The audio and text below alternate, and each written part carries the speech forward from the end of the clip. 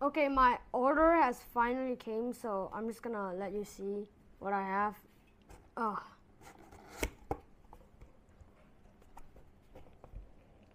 Okay.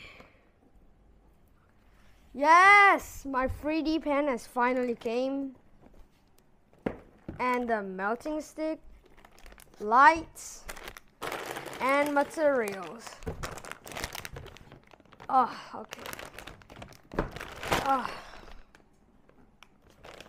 Okay, so let's just see the lights first.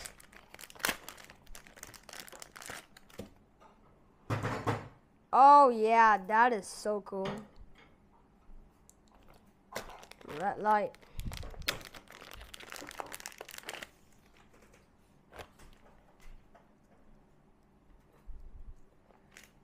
And let's just put that away for now.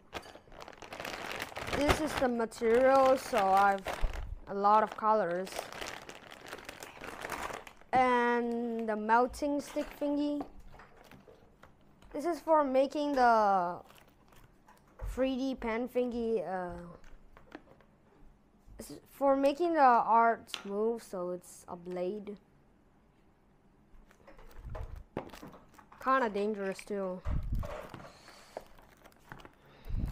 Just put it back.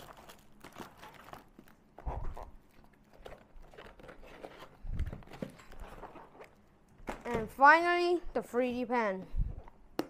Okay, this is pretty satisfying. The opening is like magnets on here. You see. Uh, this is how many you get from one 3D pen, so you should buy the materials. There are some easy steps. Look at Dryman. He's like a Minecraft guy. Okay. Uh, SpongeBob uh, instruction and the 3D pen.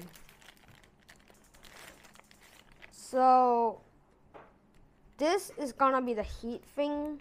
So if you do like uh, warm, uh, it will be easier to dry, so it won't be that bad. This is for slow and speed, so you can get the plastic out faster. And these, I think it's for the... Okay, I, I actually have no idea what are these for. Okay, uh... This is for batteries. You don't actually have batteries, you just put plug this in. So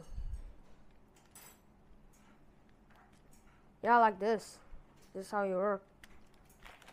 You have more kind of blue things for your fingers. Pretty funny. Yeah, that's better. Okay.